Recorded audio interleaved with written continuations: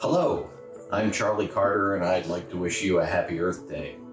On this 50th anniversary of Earth Day, the American Institute of Steel Construction and the National Steel Bridge Alliance celebrate structural steel's commitment to sustainability. Since Earth Day started, the structural steel industry has decreased its carbon footprint per ton by 36%.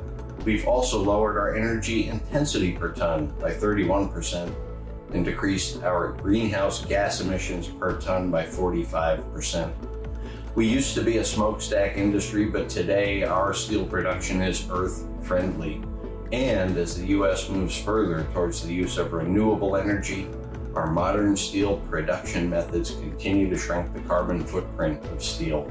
Join us as we celebrate steel as the most environmentally friendly construction material and help us spread the message of steel's sustainability and commitment to a greener industry.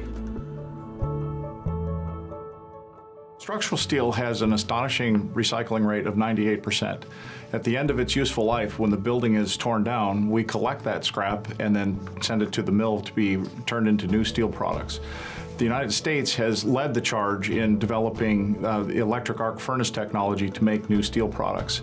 Uh, Nucor uses that technology at all of our mills, and our recycling rate is approximately 93% for all of our structural products. Every year, the North American steel industry recycles approximately 60 to 80 million tons of steel. At Nucor, we recycle approximately 20 million tons of steel ourselves every year. That's the equivalent of one new car every two seconds, 24 hours a day, 365 days a year.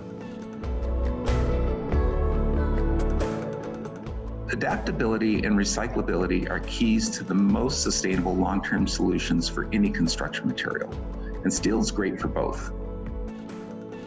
From a comparative study of an eight story office building, the MKA research team found that a structural steel building, if optimally carbon sourced, had a potential for a lower carbon footprint than a timber building. Now, that wasn't what we expected when we started that study. If the material on the timber comes from unsustainable harvesting and that carbon footprint data gets included, that's actually the findings you get. If we're going to be credible with our building sustainability claims, we have to include the upstream reporting, the inventory control that includes where the material comes from, and the transparency around the embodied carbon associated with its creation.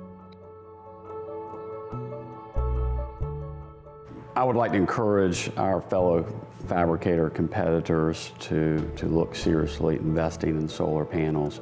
We're trying to do our part in helping with sustainability so we move forward with the investment in solar power. We had a number of solar power companies come and, and talk to us about the benefits of solar power. We analyzed it. Of course, you had federal tax incentives and in some cases state incentives. The tax incentives worked out exactly as described, and we are saving roughly 10% on our power bills every year, and it's obviously it's good for the environment. We need to look at our use of all materials as precious resources that we use wisely. Steel is very unique in what it can do. The sustainability key is always using materials where they are most efficient. When steel is the optimal choice and when the design is also optimized, we've shown it to be just as embodied carbon efficient or more than all the alternatives.